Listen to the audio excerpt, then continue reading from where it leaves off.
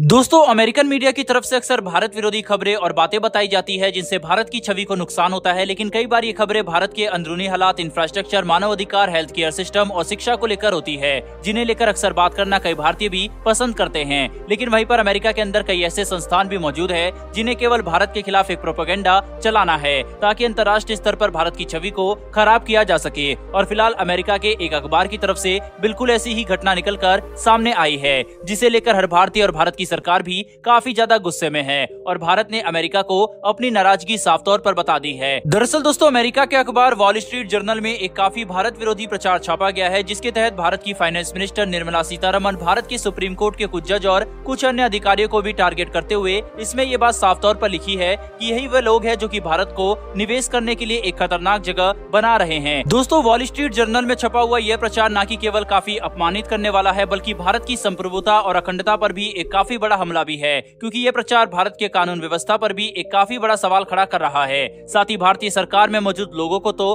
Target कर ही रहा है, बल्कि खुद भारत के उस सबसे उच्च अधिकारी, जज और भारत की वित्त मंत्री को भी टारगेट कर रहा है, जो की काफ़ी गलत है। वही आरोप इस प्रचार को एंट्रिक दिवोस केस से जोड़कर देखा जा रहा है, जिसके तहत भारत की छवि को खराब करने के लिए एक काफ़ी बड़ी साजिश की गई है। खैर, जो भी हो, ये काफ़ी दुर्भाग्यपूर्ण है की अमेरिकी अखबारों में इतने भारत विरोधी प्रचार छप जाते हैं और कोई भी बड़ा एक्शन नहीं लिया जाता, जब तक की इसके ऊपर विवाद न खड़ा हो जाए या भारत आपत्ति न दिखाए। भारत ने इस एडवर्टाइजमेंट के ऊपर काफ़ी कड़ी प्रतिक्रिया और आपत्ति जताई है, जिसके बाद से अमेरिका में कोई बड़ा एक्शन होने की संभावना है। लेकिन अगर अमेरिका वॉल स्ट्रीट जर्नल और इस प्रचार के प्रचारक के ऊपर कोई बड़ा एक्शन नहीं लेता तो ये मामला और तूल पकड़ सकता है, क्योंकि वैसे ही भारत और अमेरिका के बीच में काफ़ी सारी परेशानियों और विवाद बढ़ रहे हैं। इसके बीच में अचानक से एक नए विवाद का खड़ा हो जाना भारत और अमेरिका के संबंधों के लिए काफ़ी खराब साबित हो सकता है। यह प्रचार तेरह अक्टूबर को अमेरिका में छापा गया था और अब भारत इसके ऊपर काफ़ी कड़ी प्रतिक्रिया दे चुका है। तो यहाँ पर यह देखना काफ़ी ज़्यादा अहम होगा कि अमेरिका भारत की प्रतिक्रिया और आपत्ति को देखते हुए अपने अखबार और इस प्रचार के प्रचारक के खिलाफ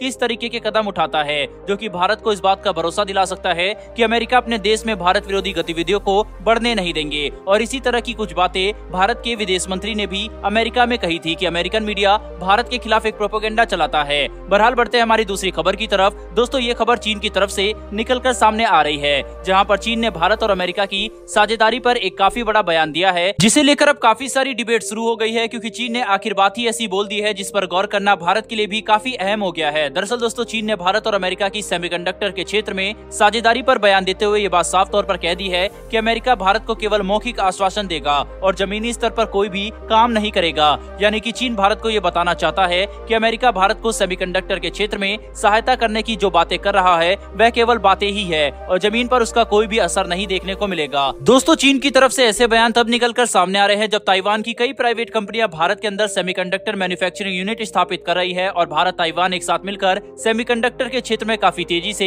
विकास कर रहे हैं। वहीं पर अमेरिका भी भारत को अपना समर्थन दे रहा है। इसी बीच चीन को ऐसे बयान देना अपनी तरफ़ खींचता है, क्योंकि हाल ही में भारत और अमेरिका के संबंध काफ़ी खराब हुए हैं। इस बात से कोई भी इंकार नहीं कर सकता कि अमेरिका ये चाहता है कि ताइवान की कंपनियाँ भारत की बजाय सेमीकंडक्टर की टेक्नोलॉजी और मैन्युफैक्चरिंग अमेरिका में लेकर आए, ताकि अमेरिका सेमीकंडक्टर के क्षेत्र में 100 परसेंट आत्मनिर्भर बन सके। ऐसे में ताइवान का भारत में निवेश करना अमेरिका के लिए एक काफ़ी परेशानी की बात तो है ही। क्योंकि जहाँ पहले अमेरिका को ताइवान पर निर्भर रहना पड़ता था, अब अमेरिका को भारत पर निर्भर रहना पड़ेगा। हालाँकि ऐसा नहीं है कि अमेरिका सेमीकंडक्टर के क्षेत्र में काफ़ी पीछे है, अमेरिका भी सेमीकंडक्टर के क्षेत्र में काफ़ी शक्तिशाली है और काफ़ी तेज़ी से विकास कर रहा है। लेकिन अगर अमेरिका को ताइवान का साथ मिल जाए तो सेमीकंडक्टर के क्षेत्र में अमेरिका अपना एक तरफा राज कायम कर सकता है। ऐसे में ताइवान का भारत के अंदर निवेश करना और सेमीकंडक्टर के क्षेत्र में साझेदारी बढ़ाना अमेरिका के लिए एक परेशानी की बात है। लेकिन अगर अमेरिका अपना समर्थन कम से कम मौखिक रूप से ही जता रहा है तो इससे भारत को यह सोचना पड़ेगा कि क्या भारत अमेरिका के ऊपर भरोसा कर सकता है सेमीकंडक्टर के क्षेत्र को लेकर, या फिर हमें केवल ताइवान के साथ ही अपनी साझेदारी को सीमित रखते हुए इस क्षेत्र में विकास करना चाहिए? चीन के इस बयान पर दोस्तों आपकी क्या राय है? कमेंट बॉक्स में लिखकर ज़रूर बताइएगा। फिर मिलेंगे डिफेंस और वर्ल्ड अफेयर से जुड़ी ऐसी एक नई वीडियो के साथ। धन्यवाद। जय हिंद।